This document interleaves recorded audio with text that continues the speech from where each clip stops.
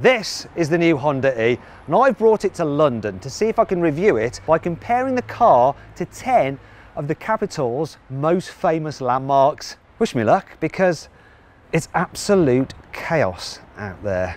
Buying a new car? Head to CarWow to get offers from the UK's top dealers. carwow.co.uk, the car buying comparison site. Before I head off on this challenge, I've actually reset the car's trip computer.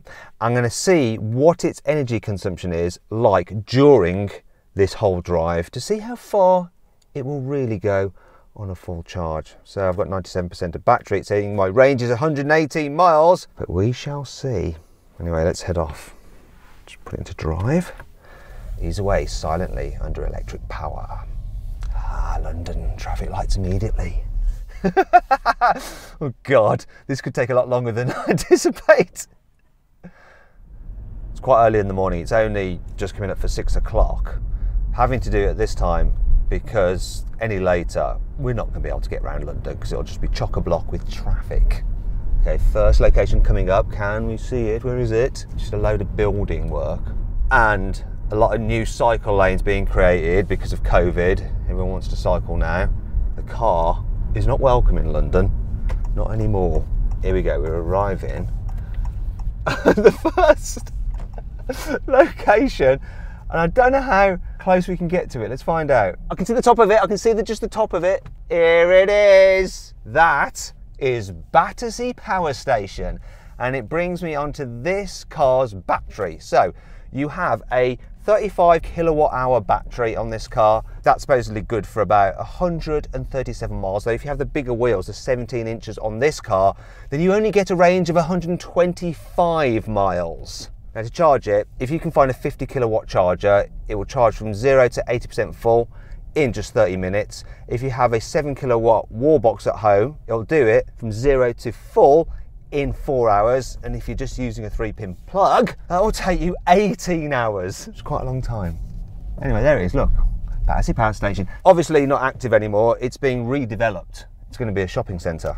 Anyway, onwards to the next London landmark. So we're coming up for the second London landmark. Where is it? Ooh, it's just over here, behind a wall. you can't see what it is yet. Look through those gates, look, that's it. There it is. There'll be a couple of things that should give it away in a moment. Look through there, see those big guns? It's the Imperial War Museum. We're talking about firepower. And This car's firepower. Whoa! it's got pretty decent zip off the line. This is the range stopping version and you have a 154 horsepower motor. Drives the rear wheels, 0 to 60 8.3 seconds, but that isn't the bit that matters. What matters is that sudden zip, like that, which is great for driving in town. Now you can get a lower power version that has 136 horsepower and it takes over nine seconds then to get to 60 miles an hour. One thing I like about this car is it's not just about the acceleration, it's also about the slowing. So it has a special braking mode there. That means that when I lift off the acceleration, I get some severe regenerative braking, so it'll actually stop the car. Look, I'm going to do this and probably annoy other road users. Actually, no, there's hardly anyone here for once in London. See that? Just lift off the accelerator and it stopped, which means you can drive round just using the accelerator pedal. It also means that when you're slowing, you're recouping energy and putting it back in the battery to maximize your range. I like that. If you don't like it because you find it a little bit too extreme, you can just use the normal regen braking and you can alter that by putting on the paddles like that to alter the ferocity of it and you get like a little dial there which tells you how much you've got. But that's not quite severe enough for me. Let's go full British Empire Imperial war making. Yeah, the full B mode. Yeah, it's for me. I like that. The next London landmark is quite hard to get right next to, but it's actually up there. You can see it. Oh, it's gone behind that building. We'll see it in a moment when we go around the corner. It is quite easy to see it. There's a reason for that. It's the tallest building in London. Now you should be able to see it quite clearly. there it is. It's the Shard. Now that thing's all about the design. Look at it, a shard of glass. This car is also all about the design. I love the look of this thing. I don't know about you. You can make your own mind up, but it's just so small, so cute, so unique. It really stands out. Even in this sort of anonymous blue, I prefer some of the other colours. You can get like this white, which looks like an iPad, and then there's also this really bright yellow as well, which is sort of cool. There's a grey, which is stealth. You get two-tone paint on all of them. It's a great looking thing, just the shape of it. So Honda says it's not a retro car at all. Oh no, though the shape of it is very similar to the original Civic. Also the inside, it's really nicely designed, but it does have a retro feel to me. It's a bit like someone in the 70s designed a car for the 2020s. Because it's sort of 70s this bit with the wood, which is actually fake wood. But then you've got all these screens, and I'll talk more about these screens later. But I do like the interior design. Some of the material quality in places is a bit sketch, but others really, really nice. I love this steering wheel, the two spokes. It makes it feel nice and spacious and airy in here. It's good design. Is it as good a design as the Shard? I think so for the car world. I love the little round headlights. I like the way that it's got that black panel across the grille. Obviously it's not a grille though because it's an electric car. And then at the back, the light design, I like that as well. You've got frameless windows. It's a really nice little shape. Even the way they've made a thing about the charging port on the bonnet. The wheels look cool, these 17 inches on this car, very unique. The whole car is unique. This is the kind of car that you look at and you just want it and you try and convince yourself as to why you need to buy it. It's very unlike any other Honda that's currently on sale, let's say that. Sorry Honda, but it's true. We know it is, don't we? We're coming up to our next landmark and it's one of the most famous in all of London. Look at this. Behold the beautiful Tower Bridge. Built in 1886, it is a feat of Victorian engineering. It lifts up actually in the middle to let big ships underneath. Really funny story about it. Ages ago, some Americans bought London Bridge, paid a lot of money for it, thinking that this was London Bridge. It's actually Tower Bridge, obviously. And ended up with London Bridge, which was just a plain old boring bridge shipped over to them in America for quite a lot of money. That was our revenge for their independence. Fuckers. Anyway, like I say, this is all about engineering, and so is this car. Honda's engineers have squeezed a nice little electric car into this small package. It's just over four meters long, so it's very short. It's also got proper, fully independent suspension on it, so a lot of cars have quite basic rear suspension. The advantage of independent rear suspension is that it means this car is good at going over bumps and it is pretty comfy. There is a firm edge to it to give it a little bit of a sporty feel, but it deals with bumps really well. Also, that independent rear suspension all round means that when you get on a twisty road, it actually holds on pretty blooming well.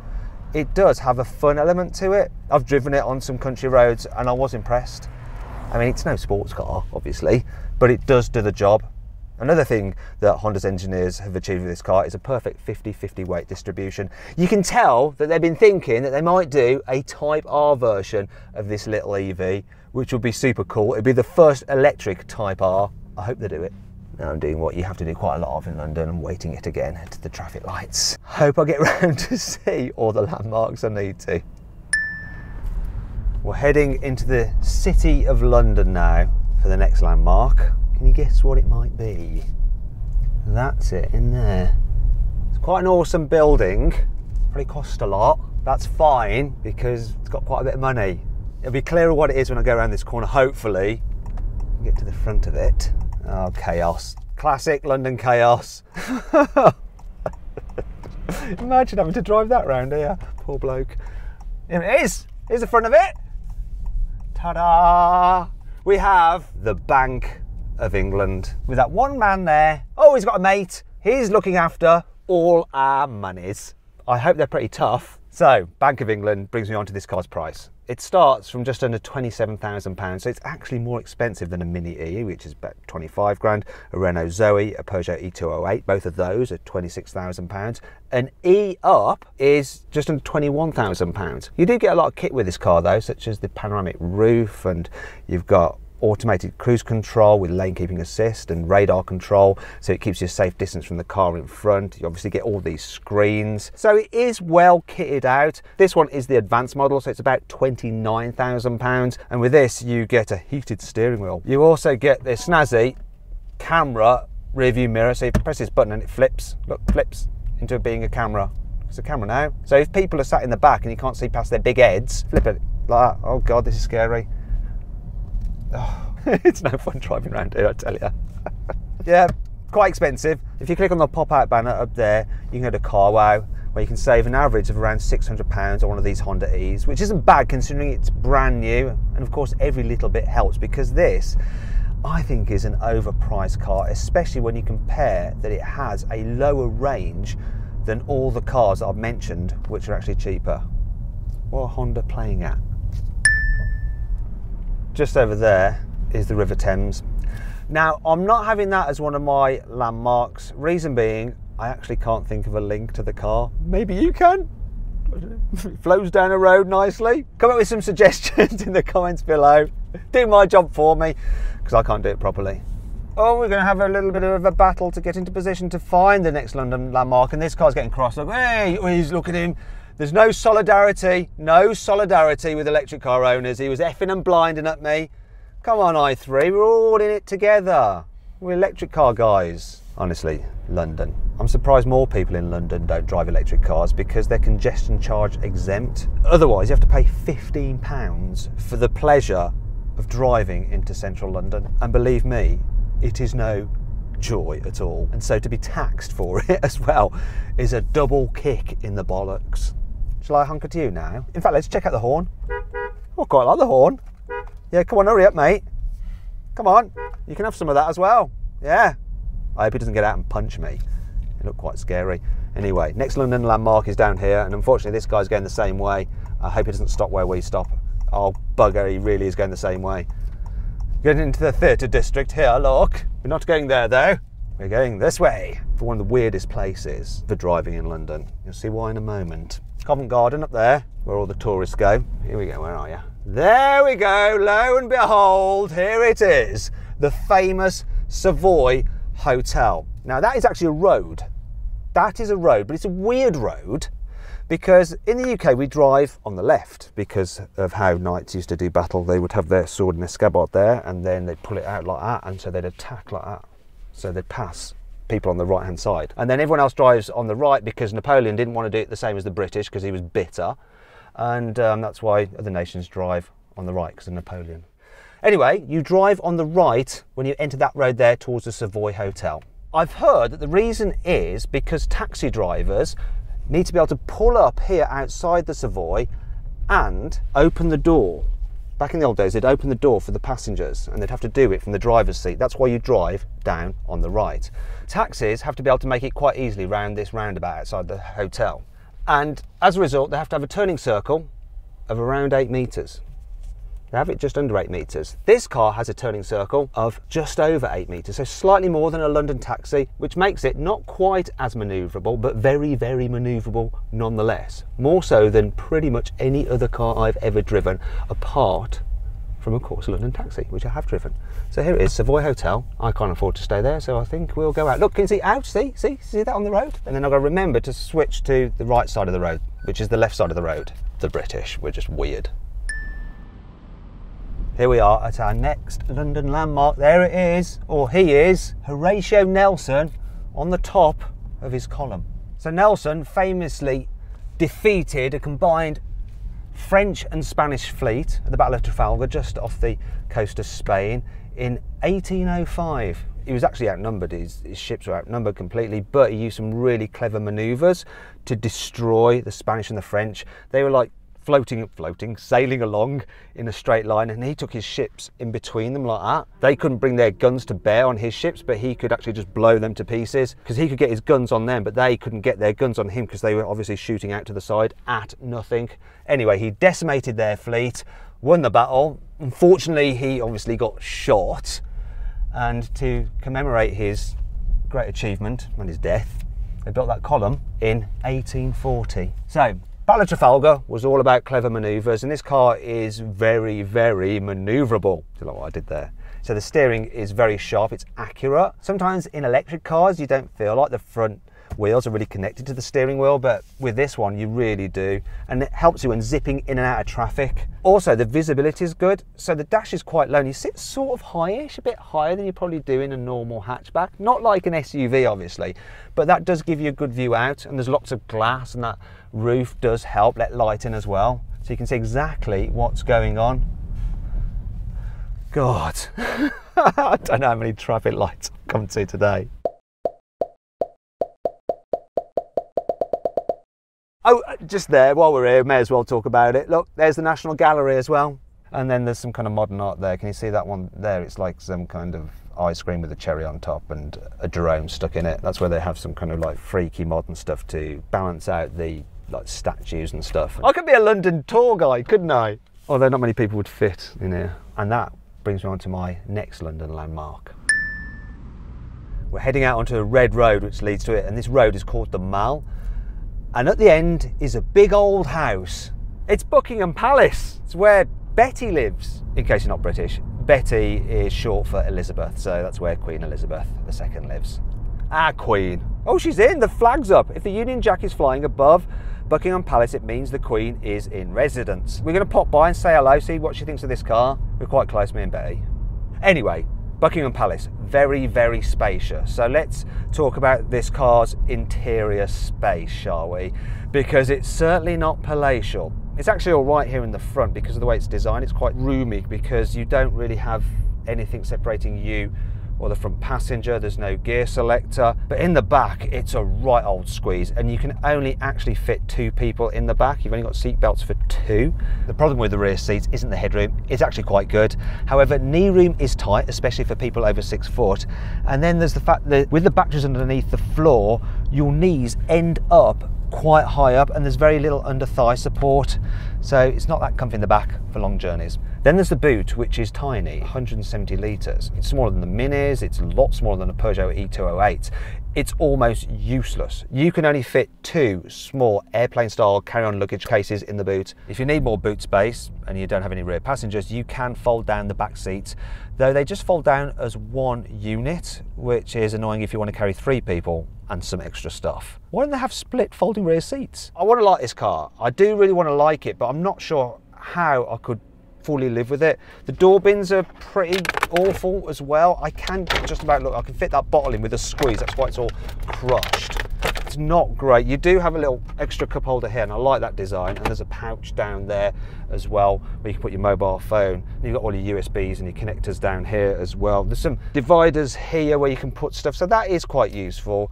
But other than that, for passengers, rubbish and utterly terrible for their luggage as well. I'd rather be in there, that's for sure. Quite frankly, much more me. Listen, I'm a boy from Warsaw and I live in a blooming two bedroom flat at the moment. so actually the, the Honda E is quite familiar. right, we are coming up to our next landmark and it's all about this. Look, it's Piccadilly Circus and we're here because of those screens. It's famous for having these huge TV screens. And obviously that brings me on to the technology in this car with its huge screens. So you've got big screen there for the passenger, another one there for the central infotainment system, digital driver's display, and then we've got the two cameras either side there. I'll talk about these first. You don't have wing mirrors on this car, you have little cameras and they just poke out a little bit and they're actually not wider than the wheel arch on the car, so they're actually slightly inboard, and they give you a clear view of what's down the side of your car. Now, I've tried digital side view mirror things on an Audi e-tron, and they just don't work because the screen's down there, whereas here, they are in the right place. I've got used to them pretty blooming quickly, and they do let you know what's in your blind spot. Actually better than a mirror, I think. Now, one of the problems you might think that if you've got these cameras, if it's raining, they're going to get covered in water, but the design of them and the fact they're covered in a special water repellent coating means that they don't get covered in water, so you always get a clear view in the mirrors. It's fine. What's not so fine is the infotainment system. So some of the menus are a little bit confusing, but it's not that bad. You've got big icons to use. The problem for me is the fact that the graphics are a little bit washed out. It's not the sharpest screen. I wish they had done a bit more with it, spent a bit extra to make sure the screens are super sharp. It's a shame because it's such a centerpiece of the car itself. They cheaped out a little bit on it. It's not the most responsive either. Uh, it's a little bit slow at times. Come on, come on, come on now. Come on, I want to see Android Auto again. Yeah, come on, that's it. Wake up. And that's a bit frustrating. It's not awful, you can use it and you're going to run your Apple CarPlay or Android Auto through it anyway, so you don't have to mess about with Honda system, which is mm, not the best to be honest. But it is let down a little bit by it's not quite as high tech as the car really deserves, and it really does deserve at this kind of price. And we're getting honked pretty badly because we've got white van man is not happy. Here we go. Check this guy out here to the right. He's annoyed. Look at this guy. He's annoyed. I thought they'd be cool. I thought they'd like forgive this little car because it's so cute, but nope. right, we're driving towards our final landmark, and as we do, we shall pass another landmark, which I'm not including. Driving down a place called Whitehall. Down there is Downing Street, hence all the security. That's where the Prime Minister, Mr. Boris Johnson, lives.